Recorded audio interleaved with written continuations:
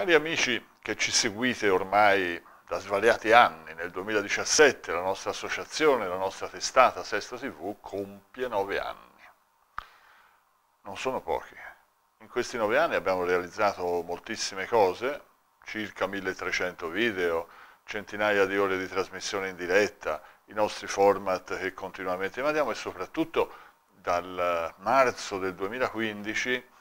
eh, abbiamo inaugurato i nostri studi qui alla Casa del Popolo di Colonnata da cui vi trasmettiamo e questo per noi è un grosso traguardo. Nel 2017 però vogliamo concentrare una parte degli sforzi che faremo per ripristinare quelli che erano gli scopi iniziali di Sesto TV,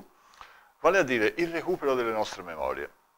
Noi eravamo partiti per cercare di recuperare vecchi filmati, filmati cosiddetti familiari, quelli che ognuno di noi ha nelle nostre case, probabilmente nascosti in uh, vecchie pellicole di 8 mm e Super 8. Uh, abbiamo fatto molte iniziative i primi anni, facevamo una rassegna annuale alla Casa del Guidi prima e poi l'apoteosi finale nel novembre del 2014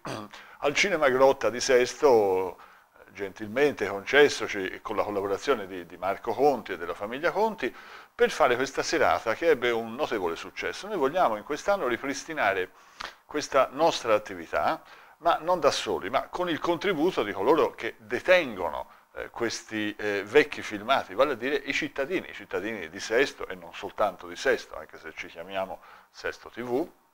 perché riteniamo che sia importante recuperare questi spezzoni delle storie con l'S minuscola di tutti i giorni della nostra comunità.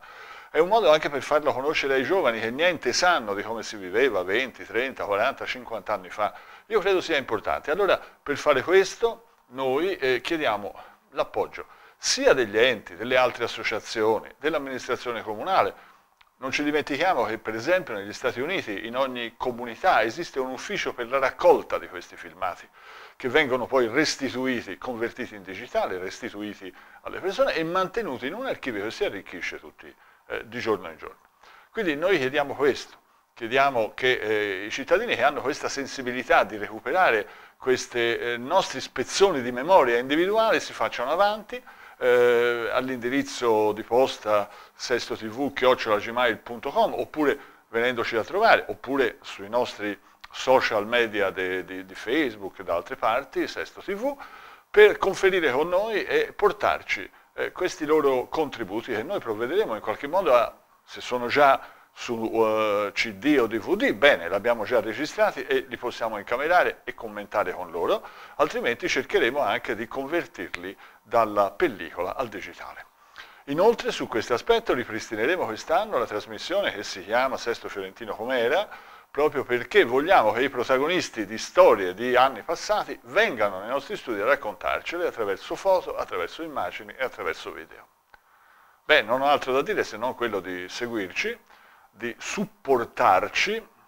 perché ne abbiamo bisogno da questo punto di vista, perché Sesto TV non è soltanto un patrimonio di pochi che ci lavorano per, con il proprio entusiasmo, ma è, pensiamo, un patrimonio di, di tutti i cittadini che abbiamo contribuito in quest'anni a far diventare eh, di estremo interesse non soltanto nell'ambito locale, ma in un ambito anche più vasto, regionale e perché non nazionale. Abbiamo queste velleità e le vogliamo portare avanti. Grazie.